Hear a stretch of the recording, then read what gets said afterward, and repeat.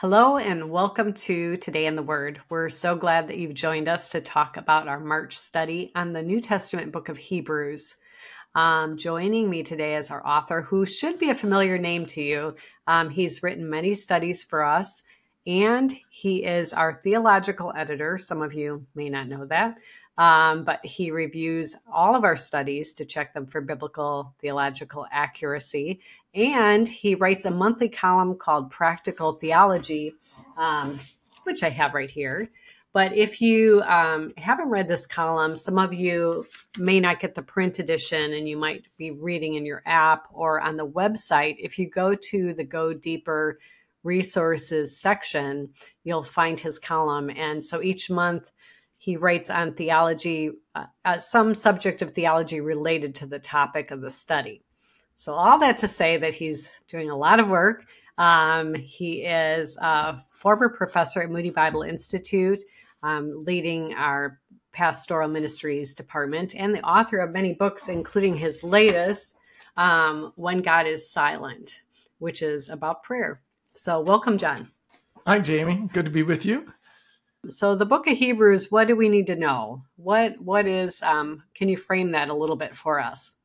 Yeah, Hebrews is one of those books where you we don't know a whole lot. We don't know who wrote it. We don't know that much about the people who received the letter that was written. So all of the information we have is sort of embedded in the book itself. You kind of have to read the book and look for clues. So um, it's the author's not identified, but he the author is somebody that the recipients knew personally from comments that are made in the book. Hebrews uh, 10 32 through 35 speaks of earlier days when these uh, individuals were exposed to insults and persecution. It, they supported others who were in prison uh, for their Christian faith, and presumably they were under pressure too. And based on the theme of the book, which is primarily has to do with uh, the Old Testament law, the Mosaic law, and the gospel, uh, we would probably describe those individuals today as Jewish Christians. So they're, hmm. they're, that's why it's the letter to the Hebrews. So it's written to people who were from uh, Hebrew background, practitioners, formerly practitioners of the law who had come to Jesus Christ. And now we're wrestling with that. In fact, we're struggling with it probably because of some of these pressures. And some of them were thinking about turning, going back to the old way rather hmm. than continuing on in Christ. Yeah, our we've titled the study a better way, which ties into that exact conflict, right? And in your introduction you talk about how these people had been raised one way to do things, you know, to do all of their traditions, all of what they'd studied and been convicted of, and then suddenly everything changed. Can you can you talk about that transition a little bit for um, for this audience? Yes. So imagine that you uh, you've the way that you have worshipped God your whole life, and it encompasses your whole life, what you eat, what you wear how you schedule your week. Um, there are all of these uh, practices and observances that not only you have participated in, but your parents, your grandparents, you know, going back for many, many generations.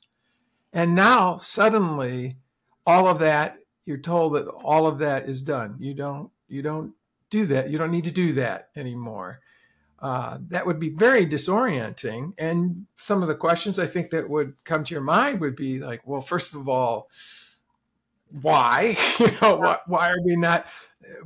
We used to have to bring these sacrifices. Why don't we have to bring these sacrifices anymore?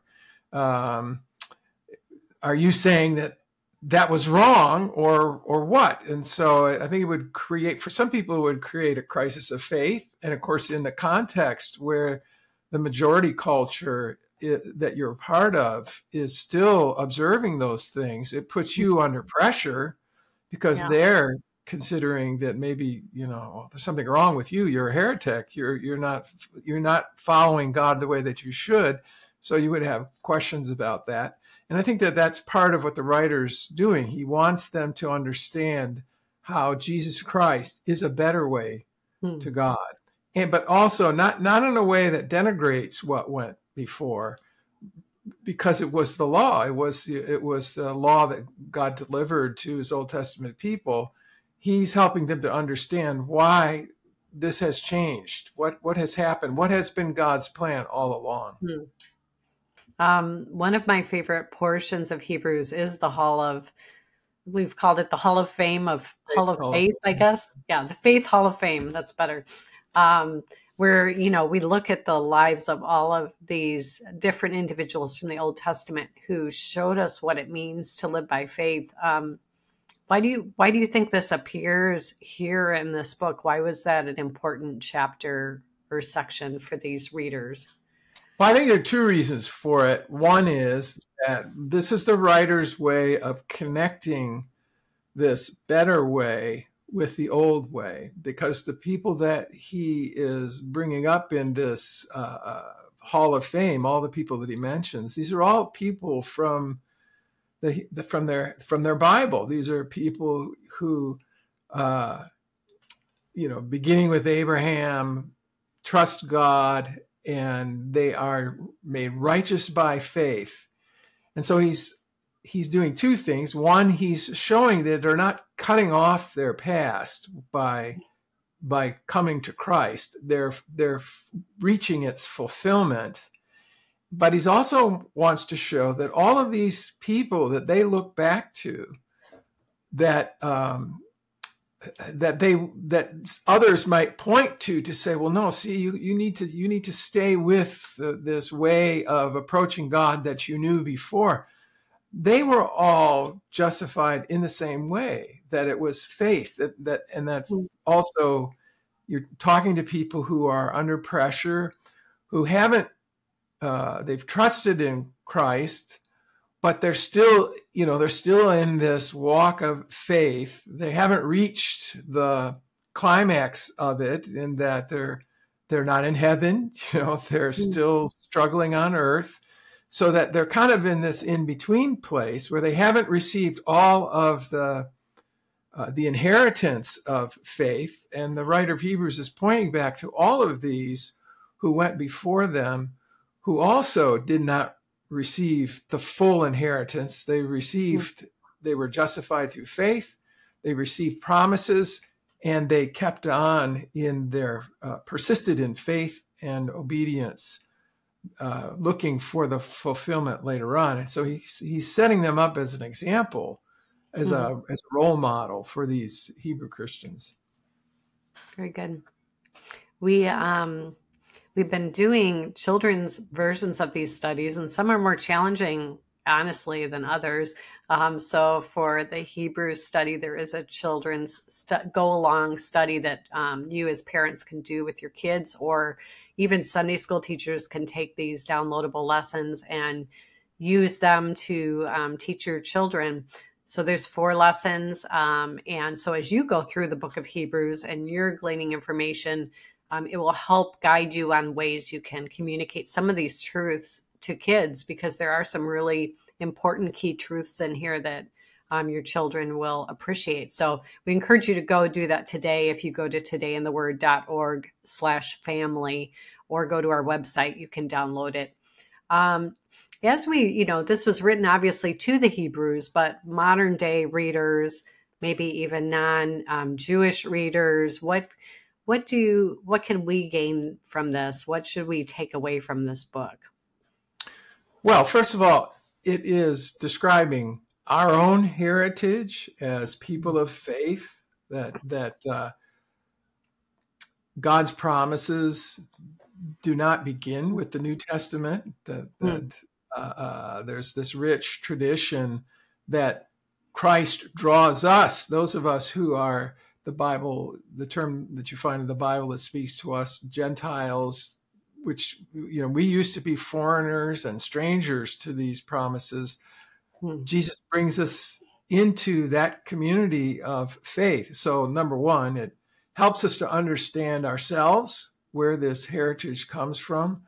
I also think that this tendency to um, want to uh, do things to to create our own righteousness. You know, we we, we want to we want to uh, we want to we want it to be something that we earn. We want it to be our own.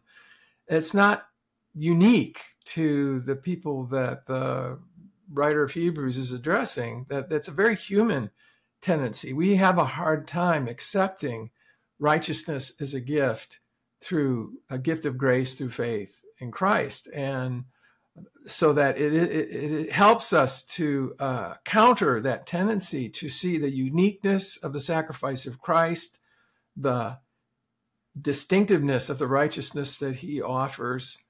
And also, like them, we're we're on the same pilgrimage. We're in the middle of it, and often we're struggling with the, the situations we face, face, and sometimes we want to uh, give up and so his message of persistence and faith is really helpful to us too, because we are walking in the same path. We are walking after those who've gone before us, including the people to whom the book of Hebrews was written, including to all those people in you know faith's hall of fame that preceded us and persisted in faith.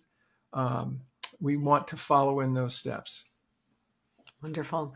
Yeah, may we also be faithful. I think this um, study is challenging and encouraging. And like you said, I think it does this wonderful job of connecting the dots from the Old Testament to the New Testament for us um, on this side of, of of the cross and the resurrection. So thank you, John. Thank you for um, taking the time to set up the study for us. And so I encourage you all to join us if you um, if you're just popping into this video and wonder what we're talking about, um, Today in the Word is a monthly Bible study, um, and you can access it free. You can download it as an app or um, get requested as a daily email, or just visit our website at todayintheword.org. So thank you so much, and thank you, John. Thanks, Jamie.